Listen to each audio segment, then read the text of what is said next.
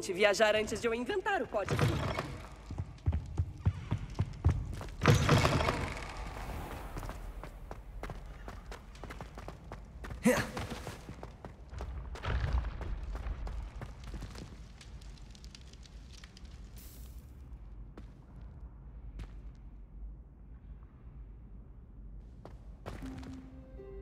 Olá de novo, Sr. Moon. Que bom te encontrar de novo, jovem. Gladwin Moon, zelador de Hogwarts, ao seu dispor. Primeiro, aceite minhas desculpas se parecia um pouco instável quando nos vimos antes. Receio ter tido um encontro conturbado mais cedo. Mas ouvi dizer que sua visita a Hogsmeade foi ainda mais agitada do que a minha. Dá pra dizer que foi agitada. Eu realmente não esperava um ataque de trasgos. É claro que não. E pelo que eu soube, a aldeia teve sorte de você estar lá. Na verdade, fui a Hogsmeade recentemente procurar por você. Gostaria que me ajudasse com uma coisinha. Tá vendo aquela estátua estranha ali? Perceba o que acontece quando a luz muda do dia para a noite.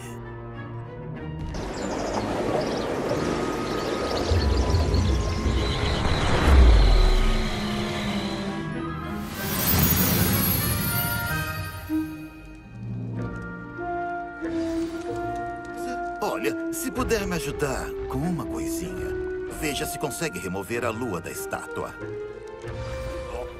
Pegue a lua. Lumos! Hum, que engenhocas estranhas, não acha?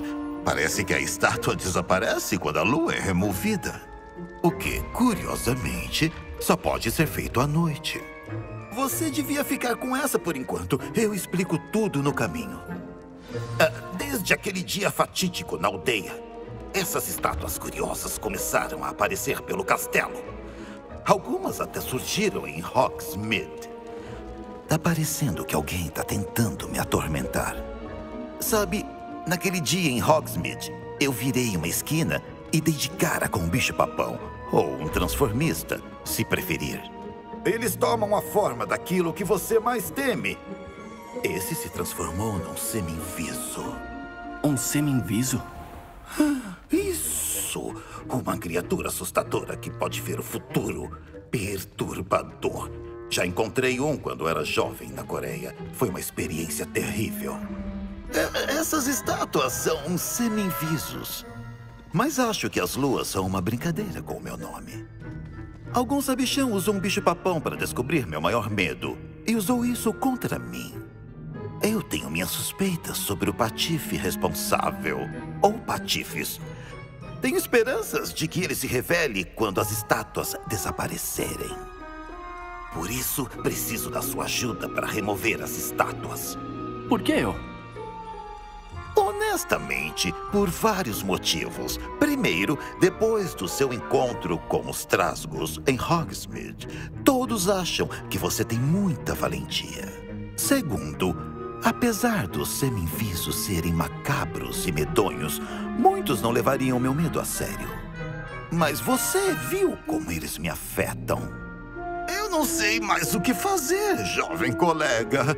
Não consigo nem chegar perto delas.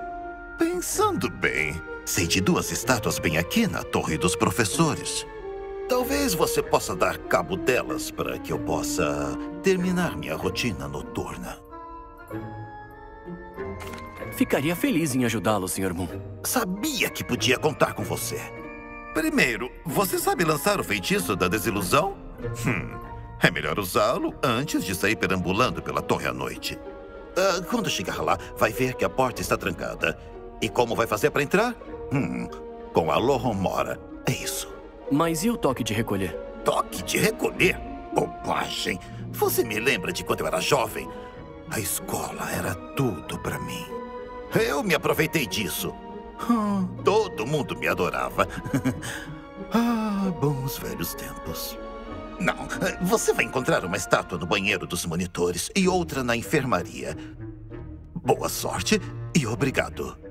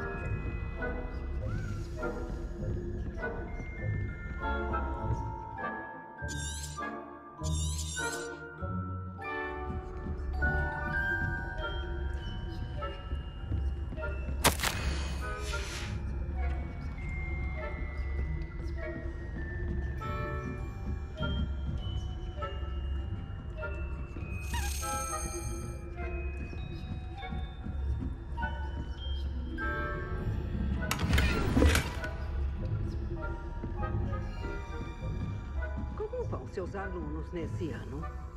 Diria que bem mal. É mesmo?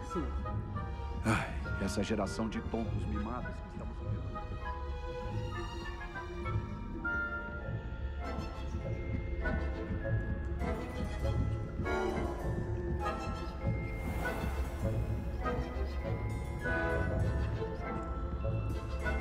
Deve ser o banheiro dos monitores.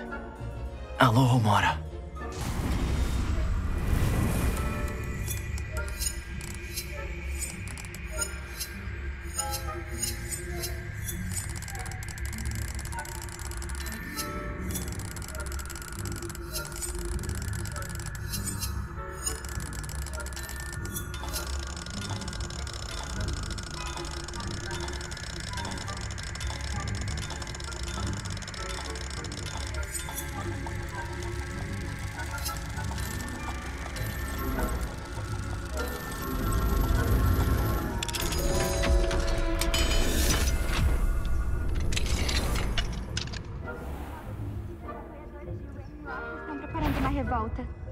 Valentões.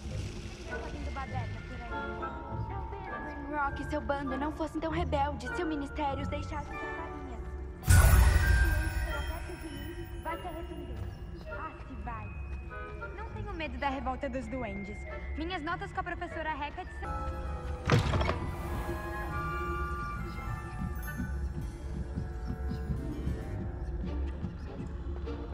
Eu sempre disse que viajar faz bem para a mente. Espero que meus tentáculos venenosos não tenham mandado nenhum aluno para a enfermaria. Por enquanto, não. Tem muitos outros perigos e armadilhas que mandam eles até aqui. Bom, hora de voltar ao trabalho. Imagino que o professor Black sabe o que faz. Mas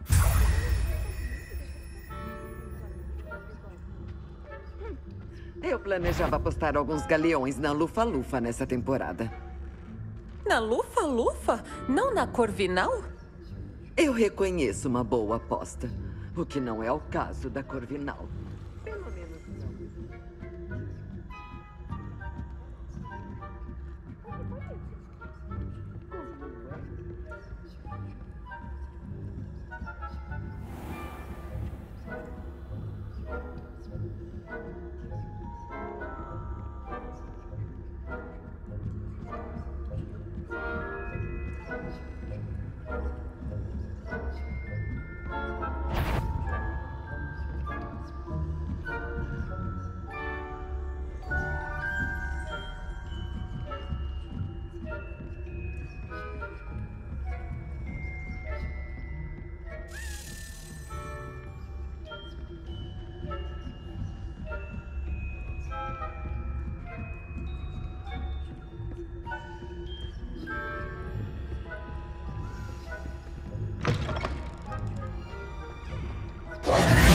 Olá, senhor Moon.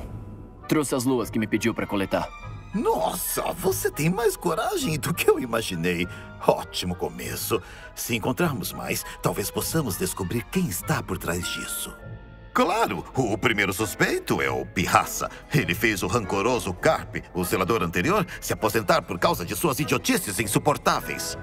Mas isso explica o bicho-papão em Hogsmeade. Nem um pouco. Com a sua ajuda, sei que vamos descobrir a identidade do meu atormentador. É mesmo intrigante. Quero ajudar o senhor a solucionar o mistério. Você, eh, jovem, é uma pessoa muito sábia e gentil. Vou lhe oferecer uma recompensa em troca da sua ajuda. Mas lembre-se, só é possível retirar as luas à noite. Por isso, recomendo usar o feitiço de desilusão sempre que necessário. Certo. Vou ficar de olho. Eu agradeço. Sabia que eu podia contar com você. Continue assim e logo solucionaremos esse mistério.